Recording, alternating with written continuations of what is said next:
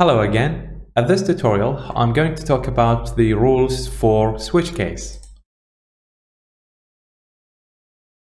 The first rule I'd like to highlight is that you shall always use switch case with an enum variable as much as you can. To demonstrate this, let's take an early example. I have previously defined this enum for the accelerometer full scale and this contains all the full scale select values and we've got 2G, 4G, 8G and 16G. Now let's create a switch case that handle all these enum elements. So let's navigate to the main and I want to create a new switch case. But for that I need to have my enum variable. So I'm gonna define a new variable with this enum type. I'm gonna call it accel full scale. I'm going to set the value to um, arbitrary one, maybe 4G. And now let's define our switch case. And I want to pass this accelerometer full scale variable as the switch case variable. Now I simply need to handle all the cases and those are all the enum elements. So let's do that for all the elements 2G, 4G, 8G, and finally 16G.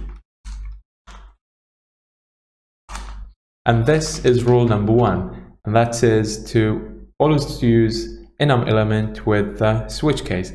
And that's particularly useful because all the select options are determined by the, they're fully deterministic and defined by the enum elements, we don't have any vague states and they're fully specific to the full select, uh, sorry, full scale values from 2, 4, 8 and 16G.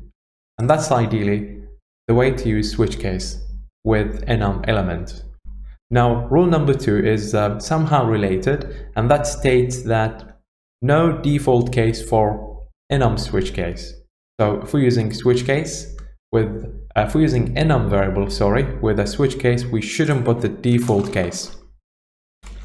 So we shouldn't have a default case, and that's because if we added a new element to our enum and we forgot to handle it as part of the switch case, then having the default case will prevent compiler from throwing warnings to us that a certain element is missing.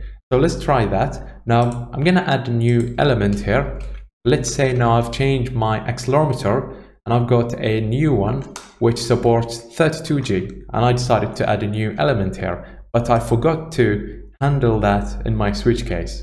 Now let's try what happens when I just try to build. Well, nothing happens. I don't get any errors, no warnings, so I don't know. I wouldn't be reminded if I ever missed that element here. That's because of the default case. Now, when I remove the default case, that's according to rule number two. I shouldn't add the default case because it's going to help me to catch this uh, missing element through the compiler. Let's see what the compiler will do at this case. I'm going to build again and here we go exactly. So the compiler threw a warning and it said enumeration value 32G not handled in switch case and that is amazing because uh, the compiler going to help me if I forgot anything and that's why Rule number two states that we shouldn't add the default case if we have an enum variable for the switch case.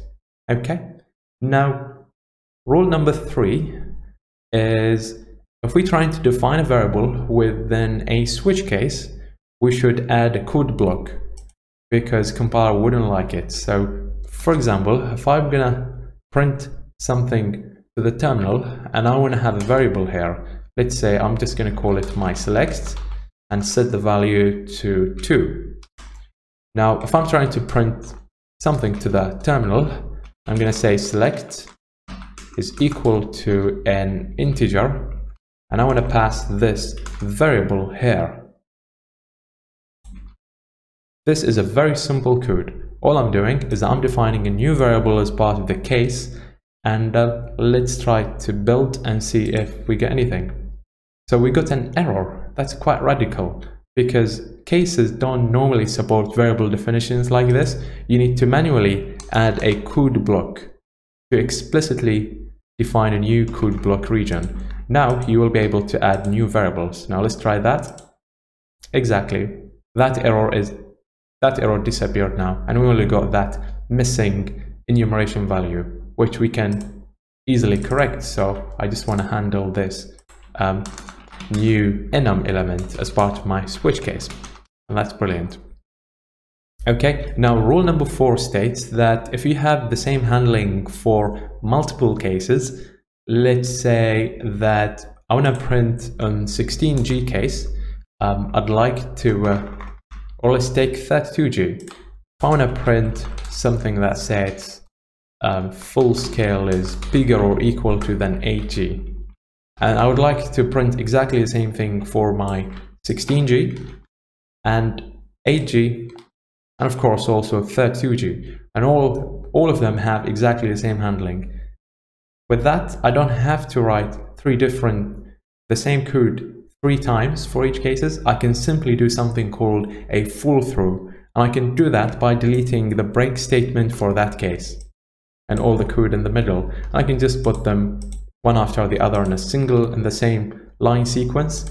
I use a single break for all the three and add the code I'd like to uh, write in common for all these three cases. And this is called a fall through. And that is rule number four. Now finally, rule number five, that's if you had to use a non-enum variable for switch case, as we mentioned early, ideally you would want to use an enum variable for your switch case as much as you can because that is going to be fully deterministic for all the enum selects.